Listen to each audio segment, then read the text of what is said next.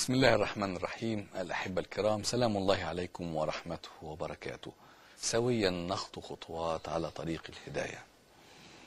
المعركة التي قامت بين آدم وإبليس للأسف الشديد نحن خسرنا هذه المعركة.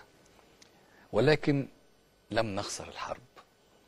فالمعركة والحرب ما زالت طويلة ومستمرة. إن كنا خسرنا أول معركة فليس معنى ذلك أن نخسر الحرب كلها الفرصة لا زالت قائمة آه، من الآن وحتى أجل كل إنسان منا أن يقاوم هذا الشيطان وأن ينتصر عليه خصوصا مع القناعات التي وصلنا إليها من منهج رسول الله صلى الله عليه وسلم الذي نغلق به مفاتح الشيطان ومسالكه ومدارجه حتى لا ينتصر علينا في كل معركة حتى وإن بدت بسيطة.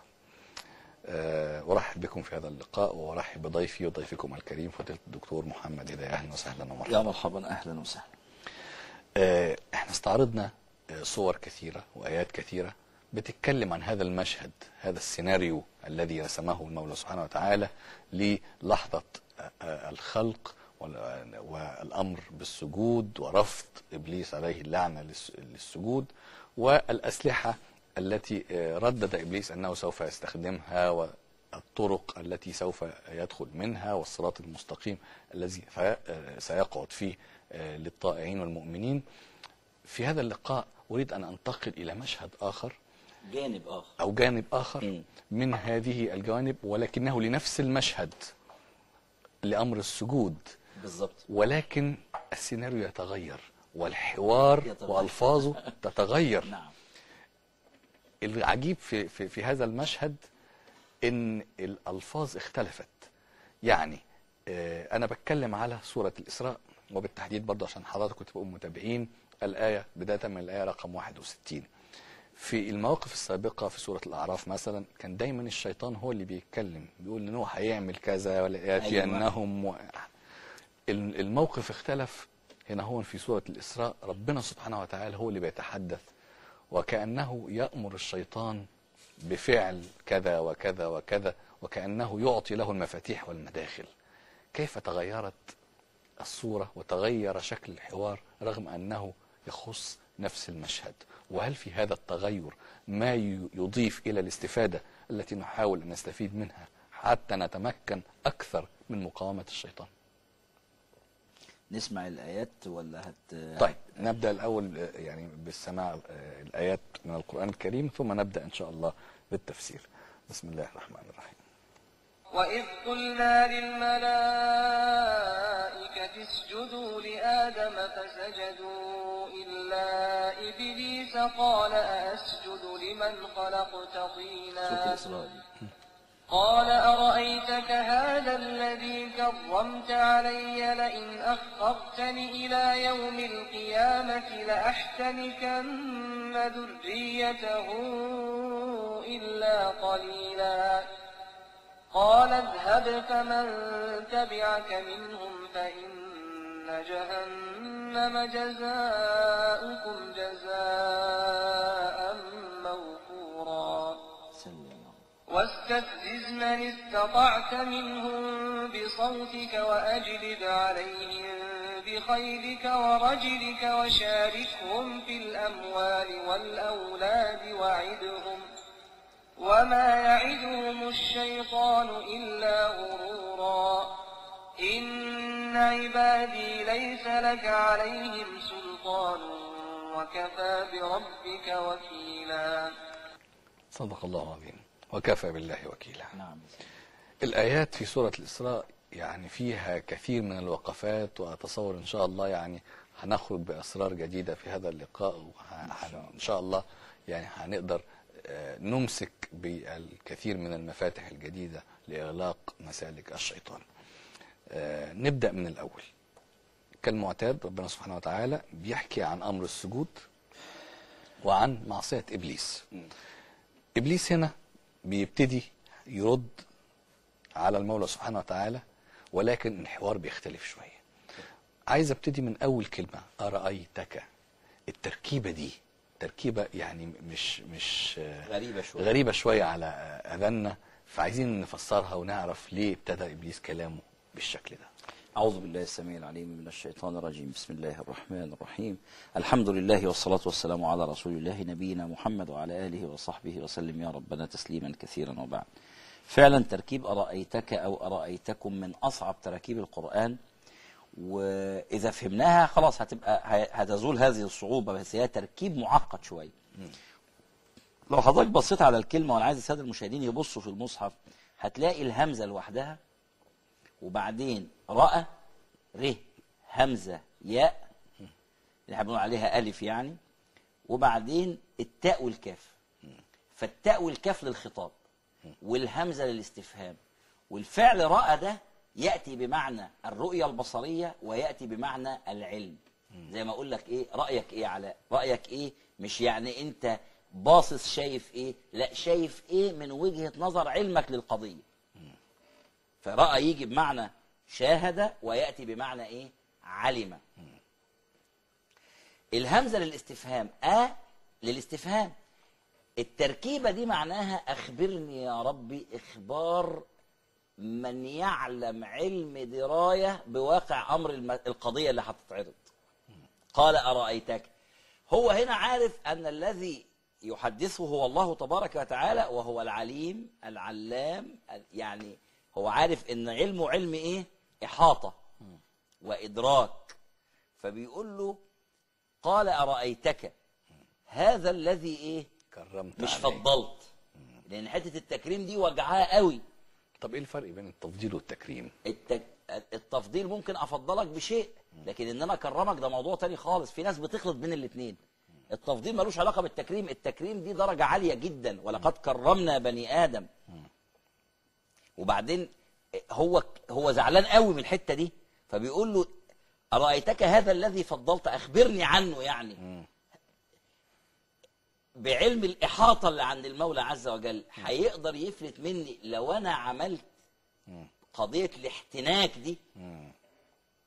ده أنا ح... ده أنا هعمل حاجة. خد بال حضرتك الغريب في هذا بقى في هذا الجانب من المشهد العداء بينه وبين آدم. دخل على الذرية كده. خد بالك هو ساب آدم؟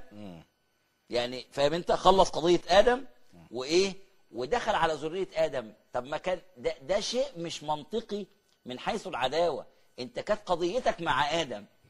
كنت المفروض تسيب ذرية آدم لمين؟ لذريتك انت. حتى لذريتك انت. لكن لا هو يعني خد القضية بما لها وما عليها. آدم العداء امتد من آدم إلى إيه؟ الذرية. إلى ذرية آدم. ولو أنت خدت بالك العداء ممتد من لحظة رفضه أو أو زي ما قلنا بقى من قبل يعني هو ناوي الحكاية دي من قبل السجود. من اللحظة دي مش إلى يوم يبعثون المرة دي. ها؟ لئن أخرتني إلى يوم القيامة. خدت بالك من الحتة دي جديدة أهي. آه أيوة. الأول طلب إن ربنا ينظره إلى يوم إيه؟ يبعثون. صحيح في آية قال له إنك من المنظرين لكن في آية أخرى قال له إنك من المنظرين إلى يوم الوقت المعلوم. لكن هنا طلبه سيبني ليوم الإيه؟ اليوم القيامة. ليوم القيامة. شوف شوف دي تبين لك شدة الع... يعني هو خايف مثلا لو واحد يفضل. يبقى هو برضو إيه؟ لازم ينهي معاه لا أحتني. شوف آه هذا الذي كرمت علي لئن أخرتني إلى يوم القيامة. ها؟ لأحتنكن حاضر. طبعا دي جملة دي كلمة من من من بديع القرآن أو من نفيس القرآن. الاحتناك بيجي بمعنيين. عند العرب. الاحتناك المعنى الأول للاحتناك إن يقول لك احتنكت الدابة الزرع. يعني عندك أرض نزلت دبه استأصلت زرعه قضت عليه. جاي من الحنك ان كالتها ب- ب- في- بال- هي بالحنك. جاية من استيعاب حنكها مم. لكل اللي انت في للأرض دي. فقضت عليه تماما. ده معنى. يعني استئصال الزرع. يعني مثلا في بعض الشراح يقول لك لاحتنكن ذريته يعني إيه هستأصلهم؟ طب هيستأصلهم من إيه؟ من الجنة. من الإيمان.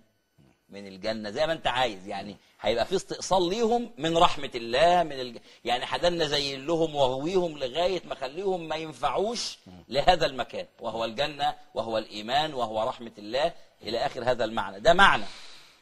المعنى الثاني الأجمل. أحتنكن يعني إيه؟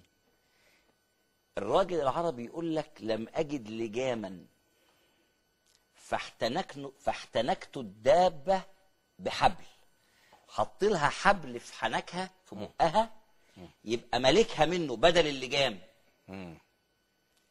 فعند العرب كده اللفظ كده يحط حبل في حنك الدبة بحيث إنه يسيطر عليها. شوف اللجام بيخليك تسيطر إزاي؟ الاحتناك يخليك تسيطر أكتر لأن لو لو هي ما سمعتش كلامك وأنت بتعمل لها كده الحبل ده يوجعها. فيخليها طوع ليك.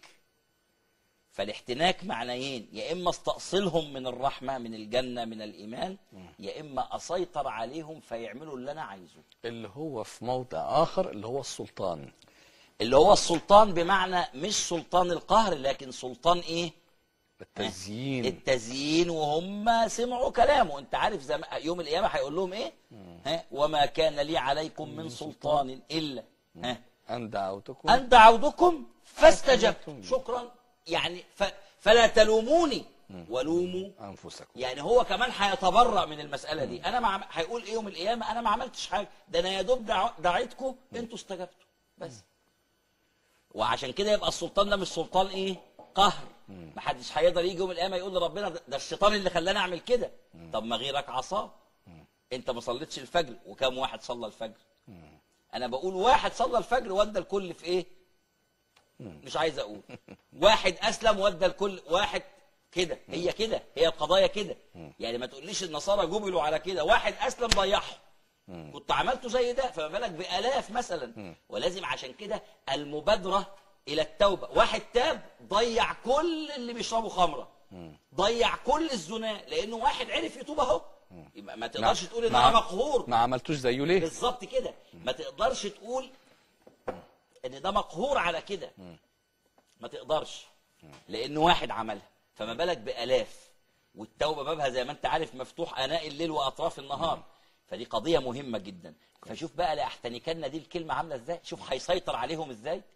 وبقول عليهم مش علينا. الحمد لله. لأن هو المفروض ملوش سلطان على عباد الله. ونحن نحمد الله تبارك وتعالى أن جعلنا من عباده.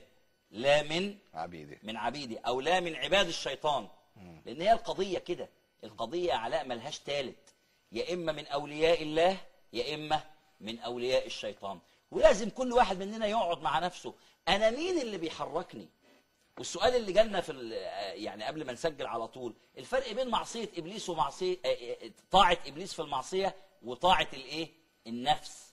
فرق كبير بين الاثنين النفس تصر على معصية بعينها. أما الشيطان يزين لك امرا. فإن لم تتبعه فآخر فآخر أي حاجة أي أمر. ودي قضية خطيرة. لازم كل واحد فينا يقعد مع نفسه. أنا بقول للي ما بيصلوش واللي ما بيصوموش واللي ما بيتبعوش اقعدوا مع نفسكم راجعوا نفسكم. من الذي يحرككم؟ ما تقوليش لسه ربنا ما هدانيش. وهل رأيت غيرك الذي صلى مثلا جاءه ملك إلى بيته آه، أخذه إلى المسجد؟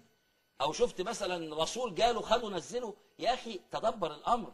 فاليوم عمل ولا حساب وغدا حساب ولا عمل أسرعوا يعني ولذلك شوف المولى عز وجل في محكم التنزيل وسارعوا إلى مغفرة من ربكم. تفهم إيه من الآية علاء؟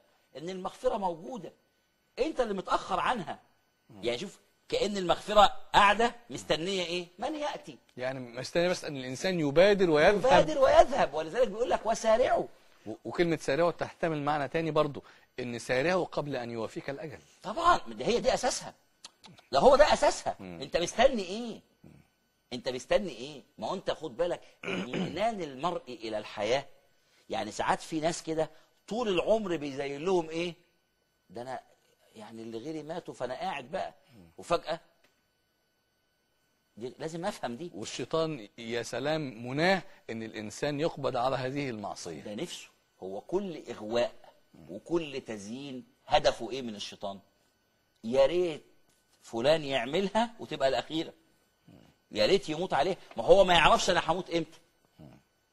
هو يعرف بس يزين لي على أمل إن أنا لو جيت معاه في معصية أموت عليها. بس هي دي التمام. لأن لو مت على توبة الجنة. بس. إلا من تاب وآمن وعمل عملا صالحا. شوف ربنا ما بيغفرش. لا فأولئك يبدل الله سيئاتهم حسنات وكان الله غفورا رحيم. ولذلك أنا بقول اللي تاب يمسك في متابة. ها؟ فاكر فاكر لما قلنا كأن متاب دي مكان أنت إيه؟ آمن فيه كلبش فيه. اوعى تسيبه. فإنه يتوب اوعى. آه اوعى تروح لمعصية. تمام. لا تموت عليها. وتبقى خلاص هي دي الطبقه وبفكرك بكل- بالكلمة دي. أرأيتك؟ ولأحت لأحتنكن. ذريته إلا قليلا. آه. هنا برضو نفس الاستثناء اللي هو يعني نفس المعاني بتتكلم عشان ما حدش يقول ان إن القرآن الكريم فيه تعارض أو فيه إطلاقاً. اختلاف ما دام القصة رويت بشكل تاني كأن القصة مختلفة. هي هي نفس ال- النتائج. انظر على عدد المؤمنين في الدنيا. تلاقيهم قليل ولا كثير؟ قليل. بس. وقليل من عبادي الشكور. والدنيا واقعها كده. أهل الكفر وأهل المعاصي أكثر بكثير من أهل الطاعات. ومش مصدقيني انزلوا الفجر. شوف صلاة الفجر. شوف صلاة الجمعة. شو فاهم قصدي؟ فاهم. آه. انظر إلى بنظرة فوقية إلى أهل الأرض كده القليل هو الطائع والشكور. الطائع الشاكر. نتمنى أن تتغير هذه الصورة بإذن الله وفضله. فاصل قصير ثم نعود لاستكمال الحوار مرة أخرى. تابعونا. أهلا بحضراتكم مرة أخرى. إبليس لعنة الله عليه بيقول لأحتنكن ذريته إلا قليلا. والاستثناء ده إحنا قلنا إنه في في في في الصور الأخرى يعني مش مش استثناء من إبليس. الملمح. نفس الملمح إلا عبادك منهم المخلصين. نفس الملمح. لكن الوقفة هنا بقى في آه، آه، آه، الرد المولى سبحانه وتعالى. قال اذهب فمن تبعك منهم فإن جهنم جزاؤكم جزاء موفورا. كويس. من أول اذهب.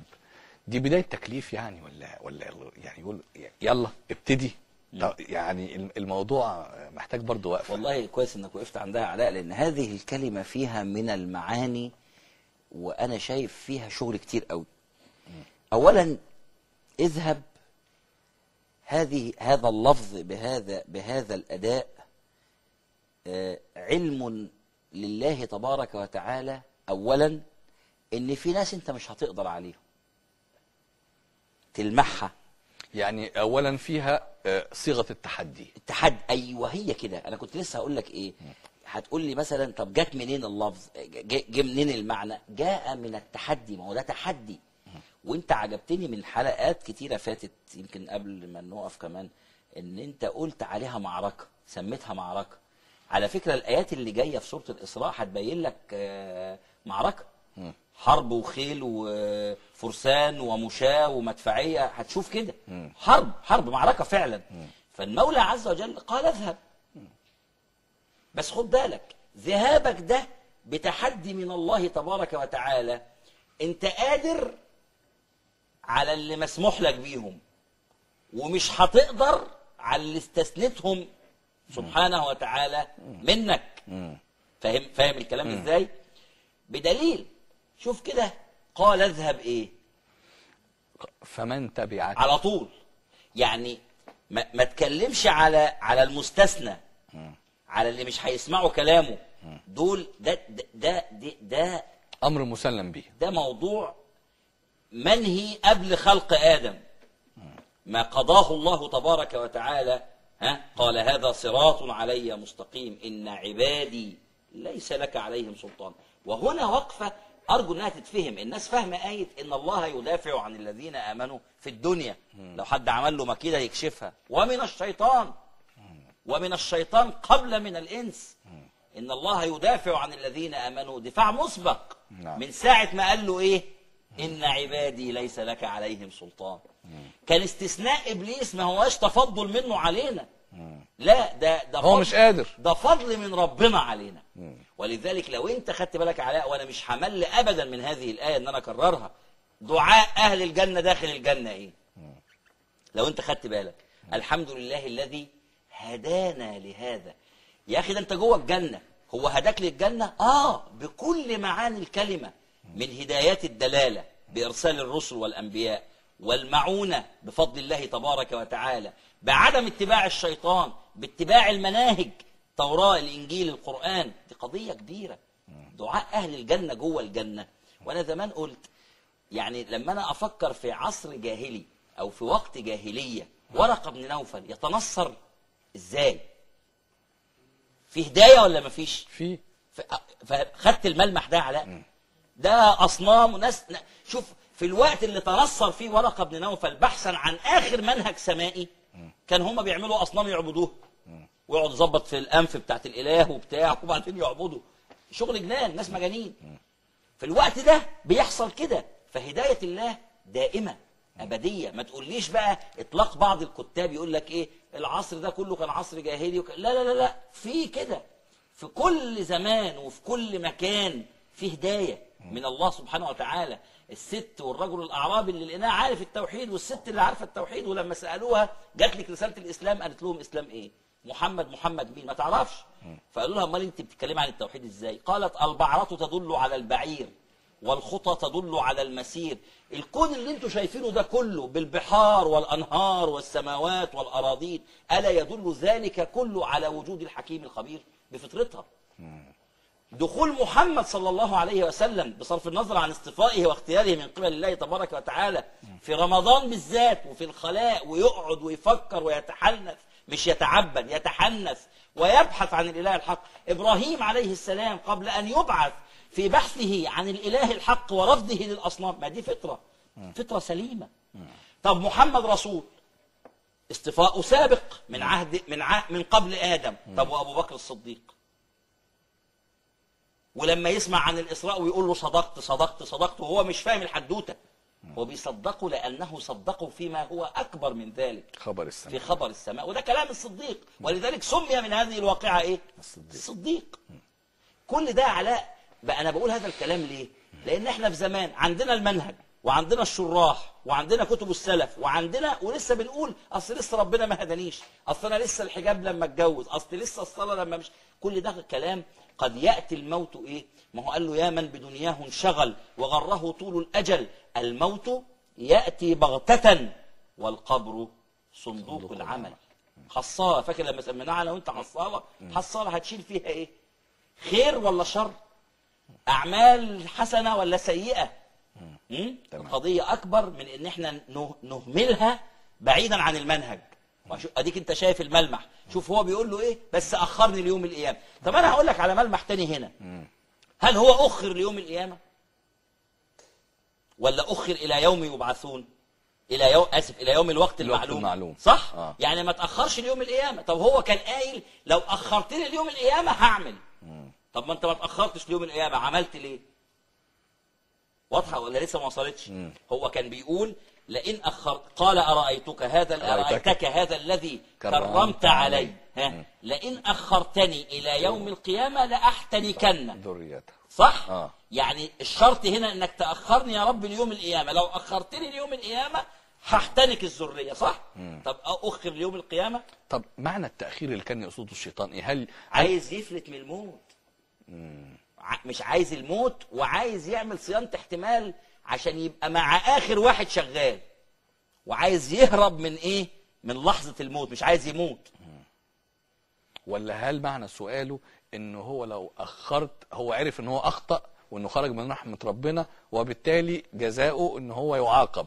فهل معنى التأخير ده طب يا رب أخر عقابي من دلوقتي لغاية يوم القيامة؟ لا ما هو ما فيش عقاب في الدنيا. هو يفهم تماما إن ما فيش عقاب في الدنيا. وهذا الموضوع أنا بقول لكل السادة المشاهدين ما حدش يقول ابني مات عقاب جوزي مات عقاب آه ابني مش صالح أو زوجي أو زوجتي مش صالحة عقاب ما فيش عقاب في الدنيا الدنيا مش دار عقاب مش دار جزاء الدنيا دار ابتلاء. ابنك مات ابتلاء. سلم لقضاء الله. زوجك مات زوجك مات أو زوجتك ابتلاء.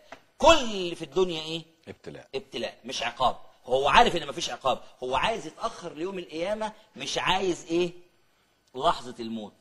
القضية دي إحنا في الحقيقة ما خدناهاش برمتها لكن أنا مأجلها للآخر ليه؟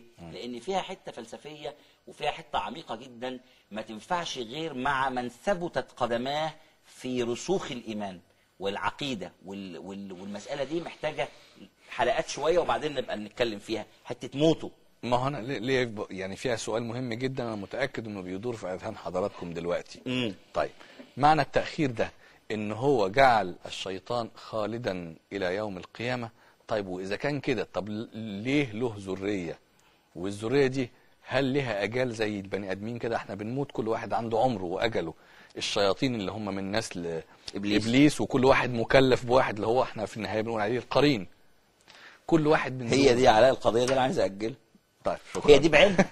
شو خلاص كده. موت كل واحد مع قرينه ما دي اللي أنا عايز اجلها لأن مش هتتفهم مننا إلا إذا ثبتنا الأقدام شوية في مسألة الدنيا والآخرة الثواب والعقاب ابتلاء ولا عقاب كل الكلام ده محتاج وقت. أنت خد بالك كل حاجة بنأجلها أظن أنت بتشوف فيها خير بالرسائل اللي بتيجي إن اتفهمت آه، تمام. وأصبحت الناس بتفكر.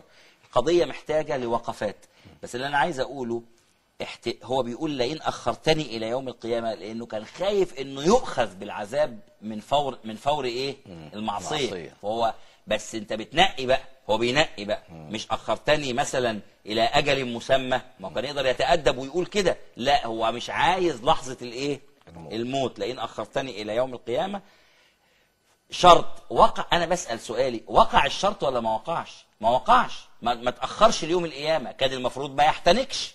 لكن رغم إنه أخر لغير أجل حدده احتنك الذرية. برضه آه هو هو هو يتجمل بس. مم. إنما إنما إنما شغال في في في, في وظيفته وفيما افترضه الله عليه وما افترضه هو على نفسه سواء بالقهر أو بالاختيار لأن الاثنين لازم يتقابلوا تماما إلى, على هذا العمل. من ساعة ما اشتغل ما قعدش.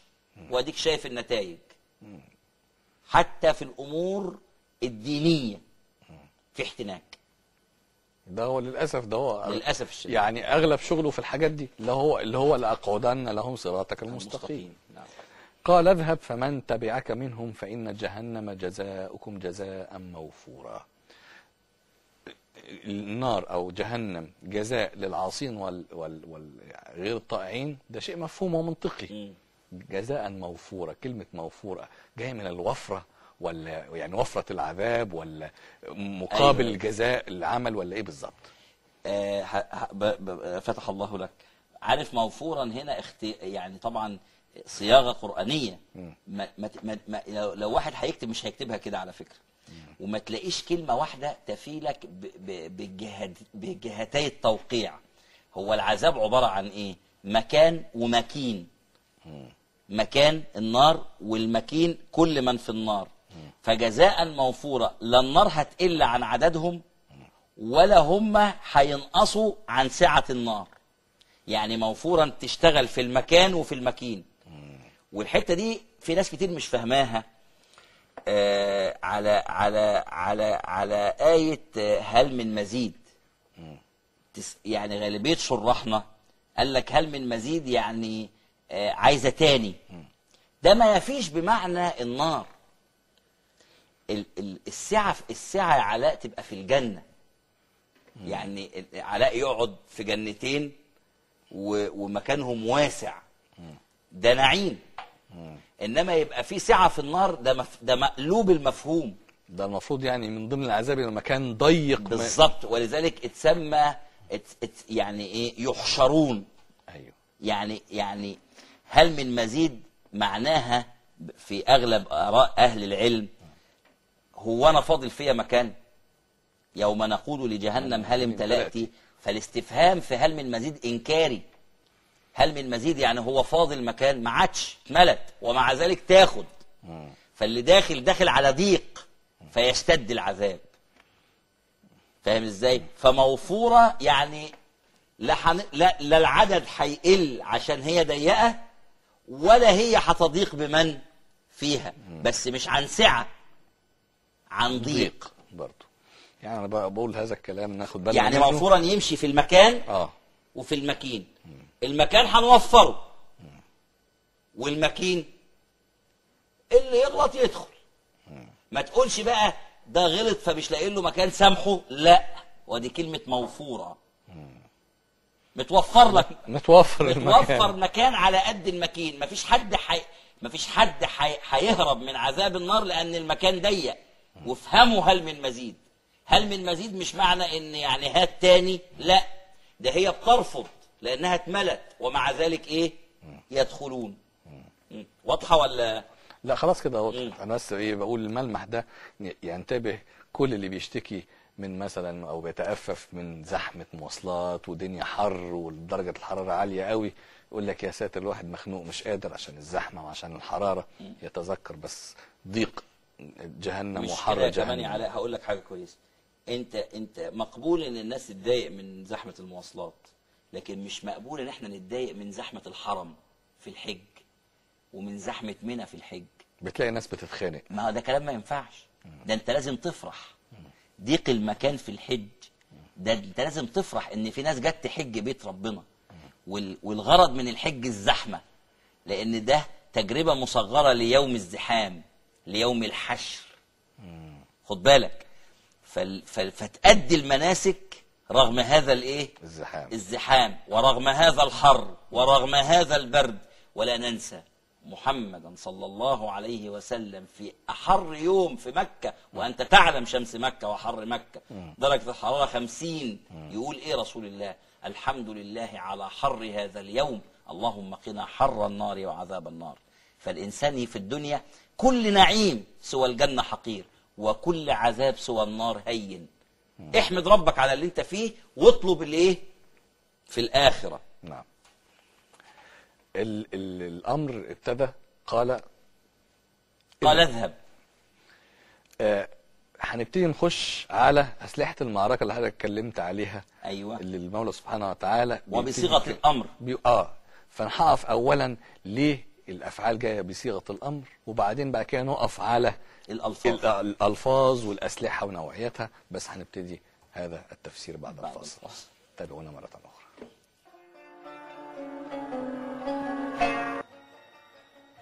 أهلا بحضراتكم مرة أخرى. آه، الآيات بتتكلم عن أفعال أتت بصيغة الأمر. دي محتاجة وقفة. لماذا آه، جاءت الأفعال بهذه الصيغة؟ هل كأنها تعطي الانطباع لدى الأذهان والأفهام أنها نوع من التكليف مرة أخرى من الله سبحانه وتعالى لإبليس؟ قال اذهب وبعدين واستفزز من استطعت واجلب عليهم وشاركهم في الاموال كلها أفعال الأمر. الأمر. ليه؟ شوف هقول لك على حاجة. هديك مثال ولله المثل الأعلى يشرح الحتة دي. تقول لابنك ذاكر. ده فعل إيه؟ أمر. أمر. فجه مديله واجب وذاكر فعل أمر وسبته ورجعت لقيته عمال يلعب. مم. فتقول له إيه؟ العب زي ما أنت عايز. مم. فده ده فعل أمر بس مش للتنفيذ. الفعل الأول ذاكر منطقيته تخليه للتنفيذ. الفعل الثاني انت قايل له قبل ما تمشي ذاكر وما تلعبش. مم. فلما ترجع تلاقيه بيلعب تقول له العب كمان العب كمان العب زي ما انت عايز. يفهم هو منك إيه؟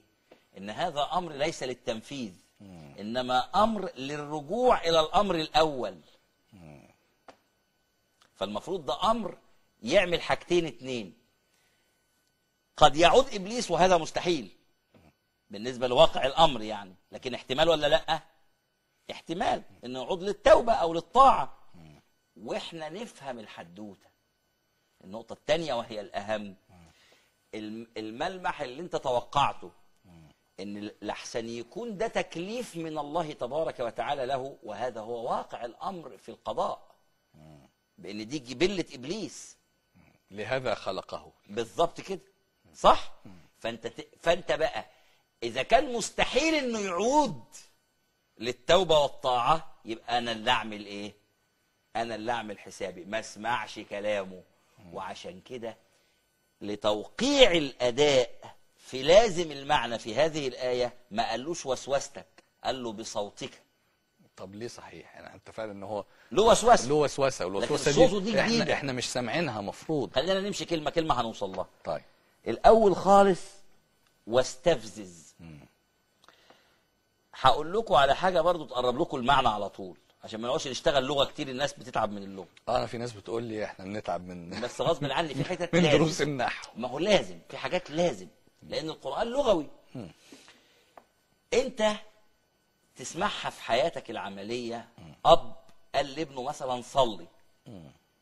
قوم. يلا فاضل نص ساعة فاضل مش عارف إيه الفجر أذن. يقوم قايل له إيه؟ فز قوم. اهي فز دي لغة عربية على فكرة. هي دي استفزز. استفزز يعني إيه؟ عمرك شفت حد يقول لحد فز إلا إذا كان قادر عليه؟ يعني شفت واحد مثلا خادم يقول لسيده فز؟ لا.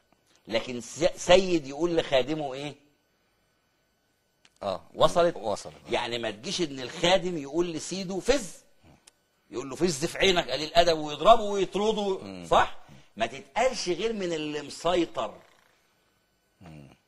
فز دي ما تتقالش غير إيه؟ فاستفزز دي كلمة بتبين لك إنه سيطر عليهم ولا لأ؟ لأنه احتنكهم خدهم من اللجام تمام. قيدهم حاكمهم بقى في سيطرة. ملكهم مسيطر عليهم. فقال له إيه؟ واستفزز إيه؟ من استطعت اللي ب... لأن برضه في استثناء اوعى مش هتقدر تقرب منه. ده استمرار التحدي بتاع است- قال بالظبط كده. استمرار للتحدي واستمرار لسيطرة المولى عز وجل عليه في حتة الاستثناء.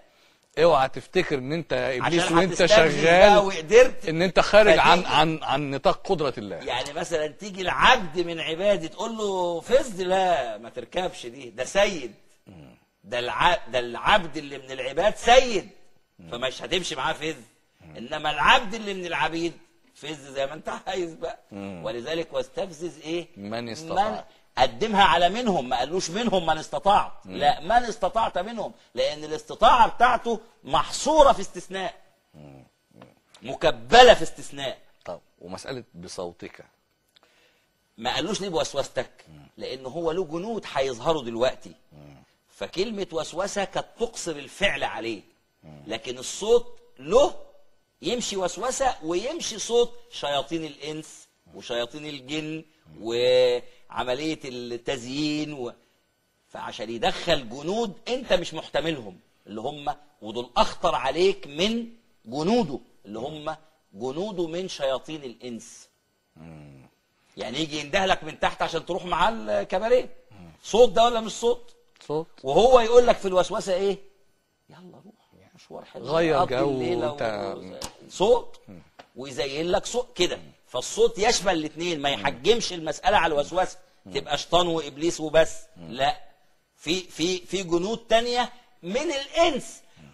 زي الراجل ما قال وكنت امرئ من جند إبليس فارتقيت حتى صار إبليس من جندي. بقى مين الشيطان. هو الراجل البشر. الإنس بلعام بن بعوراء وارتق... آه، وكنت امرئ من وكنت امرئ من جند وكنت امرئا من جند إبليس فارتقيت حتى صار إبليس إيه؟ هو اللي بيسمع كلامي. أنا اللي بمشيه. بيفخر يعني. والعياذ بالله. والعياذ بالله. ها. طيب الفعل الأمر الثاني واجلب عليهم بخيلك ورجلك. خد بالك بقى. خيلك دي يعني إيه؟ العرب تسمي فرسان الخيل خيل.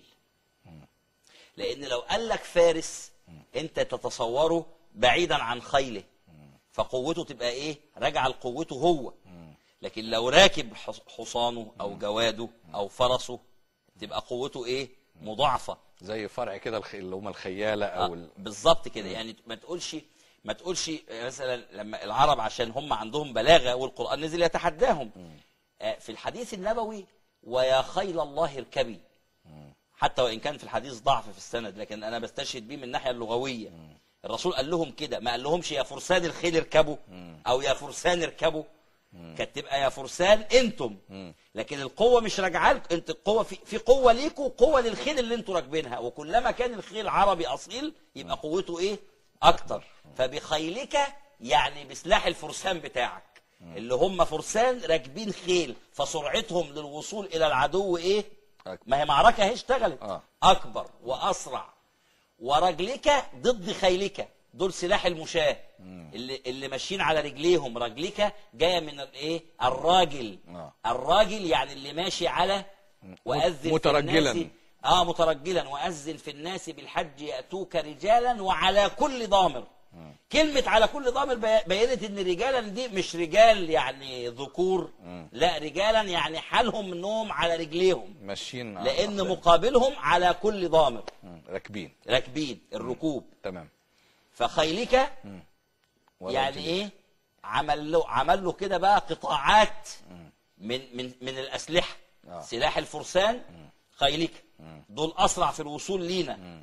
ورجلك اللي هم بيعززوهم.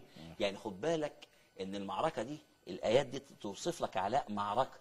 سلاح الفرسان يقتحم وخلص لا ويجي بقى الراجلين يكملوا عليك بقى. يزينوا لك بقى تزيين تاني ويشرحوا لك اللي قالوه لك بتوع سلاح الفرسان. ويزين ده ده مثلا يحتنك وده يزين. ده ده يأمر وده فاهم أنت؟ ي- يرشح كده يعني. عايز أقول ملحوظة. اتفضل. عشان أنا متخيل برضو ان في ناس هتفهم ان إحنا بنتكلم على جيش بشكله التقليدي فهم يعني ان في فرسان وفي خيول مم. وناس ماشية على رجليها أو ان دلوقتي الدنيا تطورت فممكن يبقى الخيول دي انها دبابات ومدرعات وبتاع. أنا بتصور ان في معنى تاني آه، ممكن يغيب عن كتير من الناس. ان ممكن فضائية من الفضائيات اللي هي ما بتعملش حاجة ال 24 ساعة غير إنها بتبث مثلا قنوات إباحية وجنس و... هو ده. و... ده ده هو ده نوع من الخيل نوع من الوسيلة اللي خلت المعصية وال... وال... والإباحية توصل أسرع. أسرع. ما هي هي بص هنا علاء زي ما شرحت لك أنا زمان لازم المعنى مش المعنى اللازم. في لازم للمعنى كلمة خيلك. اللي, اللي أرادوا الرسول لما قال لهم يا خير الله اركبي مش اركبوا مش يا فرسان اركبوا لا يا خير الله اركبوا عشان يعزز إيه؟ قوة الفرسان. وهم راكبين على الخيل يشتغلوا بإيه؟ بإتقان بسرعة بافتخار باعتزاز. فهو برضو وصول المعصي وصول الوسوسة ليك عن طريق خيلك هتبقى إيه؟ أسرع وأحلى.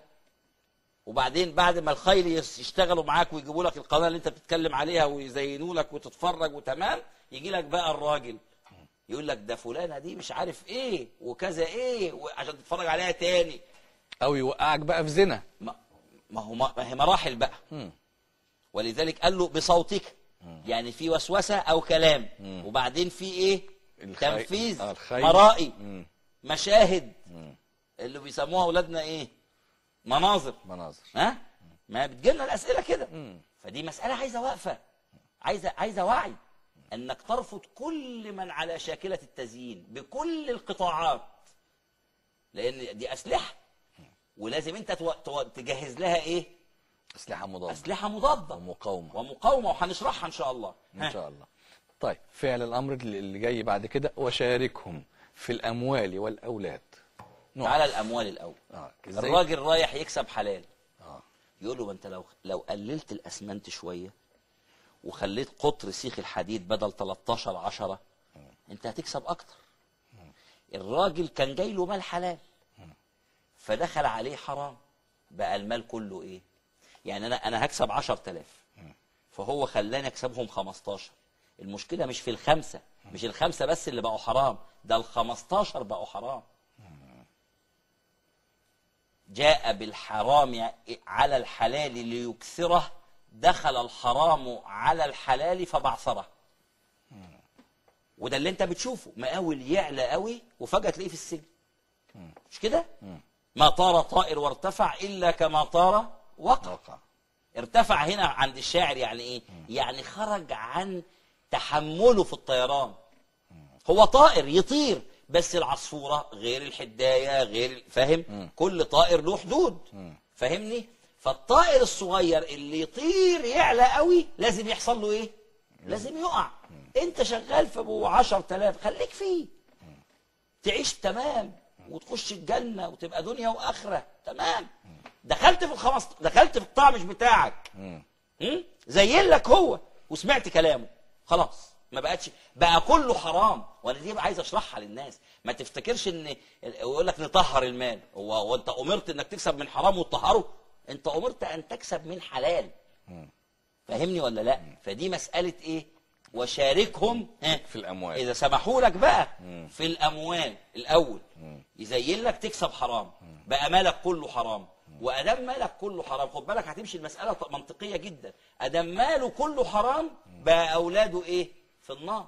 أيما جسد نبت من السحت فالنار أولى به. أنت جايب الفلوس دي بتقول عشان ولادي ضيعتهم. طب هنا هيجي سؤال طب الولاد ذنبهم إيه؟ إذا كانوش يعرفوا إن أبوهم بيكسب من حرام. إذا سمعوا الكلام ومشوا على المسألة دي ما لهمش ذنب لغاية ما يعقلوا. لازم أول ما يعقلوا ويبلغوا يتوقفوا عن الحرام ويمنعوا أبوهم إذا كان ماشي في الحرام. أنت طول ما أنت ما أنتش بالغ ولا عاقل ما عليكش تكليف. لكن أول ما كلفت لازم أقول لأبويا إيه؟ وقف. وبعدين ما تقوليش مثلا إيه أصله يتكسف من أبوه. لو واحد قال لأبوه كده برضه ودى الكل في داهية. وده بيحصل قدامنا وبتجيلنا مشاكل بين أبناء وآباء عن المكسب الحرام وبنحلها بفضل الله سبحانه وتعالى وساعات الأبناء بيكسبوا القضية. وتخيل بقى لما ابن يبقى ربنا ف... الهداية. ما هي دي القضية. البنت اللي ردت على أمها ساعة لما كان عمر بن الخطاب بالظبط. بيسمع ما قال لها يعني يا أمه لا تمضي طبعا الثانية حلفت له بايه علاء قالت له والله ما بغش. ده أنا بغسل الاناء ومش عارف إيه والكلام والرو... البنت خدتها قالت لها إيه؟ قالت لها يا اماه قال اللبن تغشين وتحنثين باليمين وتكذبين على أمير المؤمنين. كل دي أخطاء في نظر البنت. ثمان سنين. إذا كان عمر لا يرانا وهذا واقع فإن رب عمر يرانا فأنت بتعملي إيه؟ أنت بتضحكي على عمر وهيصدقك عمر لأنك حلفتي له. طب و... و... وما زال الحرام حراما. لازم لازم نخلص من القضية. فعمر ما سابش البنت دي. ودي مسألة تانية. لما تلاقي حد من الصالحين خده القطه ما تسيبوش. إن كان ولد يبقى لبنتك وإن كان بنت تبقى لابنك لأن هي دي الدنيا. إنك لما تلاقي صالح إياك تسيبه. امسك فيه كلبش فيه. لما تلاقي زوجة صالحة كلبش فيها. ما تقعدش بقى أول ما يجي لك مال تلعب بديلك وتروح تتجوز وت... يعني دي قضية برضو عايزة إيه؟ تتفهم الأمور لأن الدنيا ماشية من خلال هذه الآيات. الآيات دي علاء بتشرح لك بس زي ما انت قلت جانب من المشهد. لكن توقيع الأ- كلمة وشاركهم في الأموال شوف العطف كده والأولاد. إذا تمكنت منهم في الأموال هيبقى تبعية على طول إيه؟ الأولاد. والأولاد. طب هل من ضمن المعاني ما نراه في يعني في بعض المجتمعات من تفسخ أخلاقي وتبص تلاقي للأسف الشديد يعني الراجل من دول ما يبقاش عارف إذا كان فعلا الولد ده من صلبه ولا لأ؟ و طبعا. يبقى في أولاد زنا كثيرين وأولاد بلا. بلا أصول ولا بلا أباء. شاركهم في الأموال في الأموال. والأولاد الأولاد دي من ضمن المشاركة كده. وإنك يعني بالكل بمفهوم الكلمة الشامل أولاد الزنا. وبعدين آه، أولاد العقوق. وبعدين الأولاد اللي, اللي أبوهم يخلفهم ويسيبهم. ويسيب مسؤوليته. والأبناء اللي. اللي يخرجوا عن طاعة ابيه كل ده لو دورت في الأصول هتلاقي فيه إيه؟ معصية. في معصية. في شيطان وسوس في شيطان إنس اتكلم العملية اجتمعت كل ده ماشي. الآيات دي بقول لك لو شرحناها بقى موسوعية هتبص تلاقي كل القضية من كل الجوانب.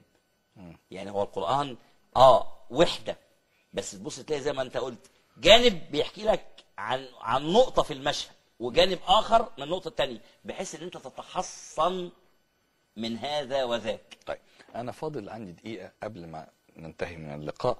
عايز أسأل سؤال مهم جدا لأن بتنتهي به الآيات في المشهد ده.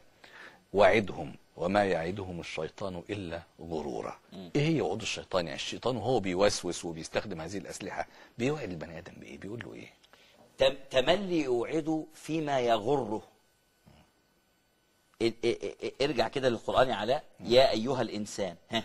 ما غرك بربك الكريم الذي خلقك يعني خلي هنا كده ما غرك بربك الكريم الذي خلقك فسواك فعدلك. شوف ربنا عمل لك كل ده.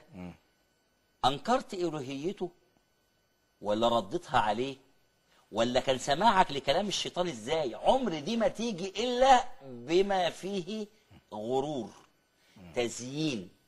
يعني يا أيها الإنسان ما غرك بربك؟ يعني إيه ما غرك بربك؟ يعني إيه اللي نساك وجرأك على المولى عز وجل؟